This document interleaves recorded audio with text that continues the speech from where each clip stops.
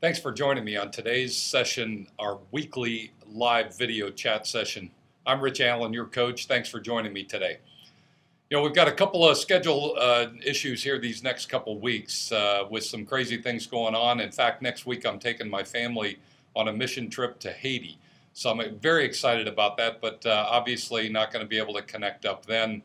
And today we're a little bit off schedule in terms of timing, but I wanted to make sure I got a message to you today that you could listen to whenever it was available to you um, to give you a bit of encouragement and, and, and just some motivation for this week's activities. We're at the 6th of March, so we're in the third month of the year and moving along. The year's kind of clicking away. The first quarter's coming to a close here fairly quickly. Hopefully, your business is moving along and doing nicely. But if not, I want to give you a, a kind of a jolt here today. I want to give you a, a, a, bit of a taste of a book that I read called The Compound Effect by Darren Hardy. I happened to see Darren at a conference here recently uh, where he shared some of the learnings from his book. It's a powerful read. If you've not read this book, it's one that you ought to pick up you ought to have a book going at all times. So if you don't have one that's open and, and you're in the middle of, you're learning and, and, and taking some new knowledge in, here's a great one to jump into. And I want to tell you that, that Darren talks about several things. His point in, the, in his, his talk is really about what does it take to get on the cover of Success Magazine? And when you think about it, if you're familiar with Success Magazine, everybody that's on there is well known, successful, popular, has done really well in their business or enterprise or activity, whatever their their uh, their profession is. But he's got some tips that that each one of them has proven out to be um, core principles that they apply to get onto the cover of the magazine. It's not a quick fix. In fact, the, in fact, the quote that he uses, I love it. It says, um, "Success is earned by hard frickin' work. Stop looking for the quick fix."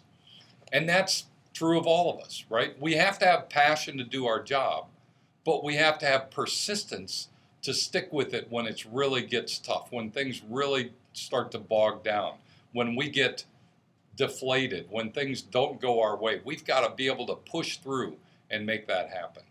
So here's a couple of tips that he's given us that I want to share with you this week because I think they will be helpful to you. One of them is that, that your output is very much related to the inputs that you have in your life. So if you think about it, our brain takes in a lot of information. We get consumed by um, um, stimulus, if you will, um, whether it's the news, whether it's uh, other people around us, um, the the traffic that we get ourselves caught in, our business issues and themselves. We get inputs from a lot of different sources. But many of us put in this negative, nasty input that we get through news channels all the time. And that's that kind of becomes the cloudy water at the in the base of, of kind of how we think. And one way for us, if we want to have some better outcomes, then we need to change the input that we're getting. And I like the way that Darren said it. He said his car doesn't doesn't move without two things: gas in the gas tank and a motivational CD that he's playing in the car. In other words, he's not spending time on the talk news. He's not listening to sports radio. He's not listening to music. He's putting into his mind some positive, uplifting, motivating thoughts or some new techniques and tips on how to improve your selling tech, uh, uh, selling tactics. Or maybe it's a, how to how to improve your team dynamics, and it's he's listening to some tape. I've started to do the same, and I'll tell you, it makes a world of difference. You put clean water in, and you're and you you think fresher thoughts coming out, more positive thinking. Your output is related to your inputs.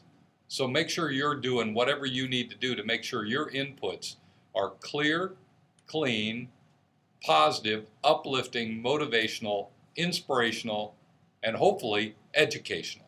He also talks about this notion of, of the entertainment versus education quotient. In other words, you, you don't want to spend your life doing 100% of your free time on entertainment You need it. There needs to be a balance between entertainment and education, because we're always we're always learning.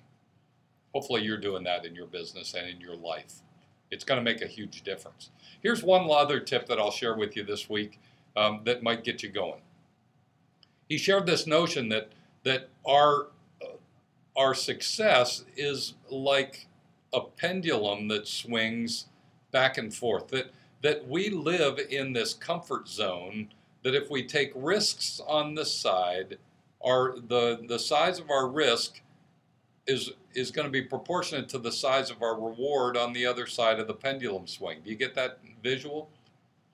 And and so we tend to swing our pendulum in what we can come to know as our comfort zone. And his thought was, and I agree with this totally, that that if you want bigger success, you've got to be willing to move your pendulum over on the risk side out of your comfort zone. You've got to do something that is extraordinarily risky in your mind in order to allow that pendulum to swing way over into the, this high success mode. And he suggests that everybody that's been on the cover of Success magazine has done just that. So, my question for you this week is what is that that you need to do? What's that risk that you need to take that's going to push you beyond your boundary and it might even fail, it might not go well. But by doing that, you'll give yourself the opportunity to have the correlation and this and the, the shift on the success side that comes with that risk. What is that for you? Is that picking up the phone and calling somebody that you know you you want to meet but you just don't have the courage to call? Is it going to that meeting and walking across the room and shaking hands with somebody who's a big player in your industry that you need to meet? Is it stepping out and doing something or create, or taking a risk in your business, making that leap of faith that if I bring this person on board, my business is going to accelerate like never before? What's that risk?